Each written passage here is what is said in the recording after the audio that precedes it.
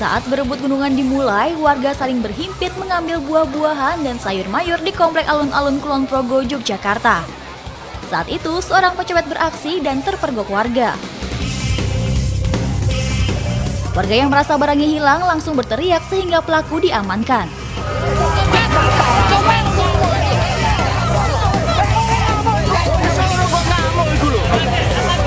Bahkan seorang pelaku nyaris diamuk masa namun berhasil diamankan oleh petugas keamanan.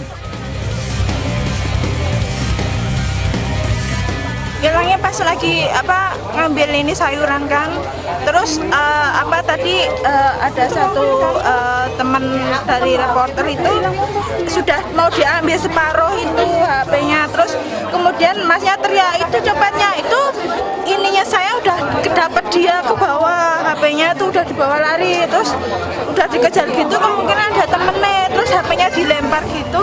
Yang dikejar udah nggak bawa HP jadi HP saya udah hilang.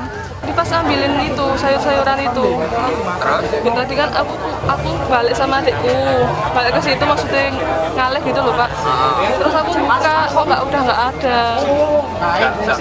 Diambil itu enggak Usai diamankan petugas keamanan, pelaku pencopetan ini langsung dibawa ke Mapolres Kulon Progo.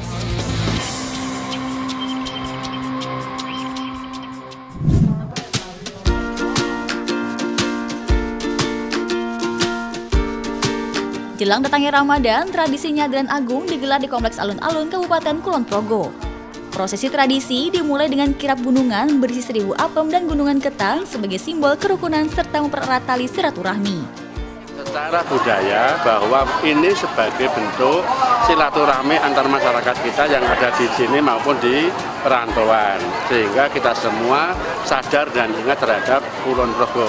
Ingat kepada jati diri ingat kepada harga diri ingat kepada nuansa kebangsaan kita sebagai warga Kulon Progo Setelah nyadran agung dilanjutkan dengan tradisi mujahadah agung dan pagelaran seni wayang kulit di Komplek Alun-Alun Kulon Progo.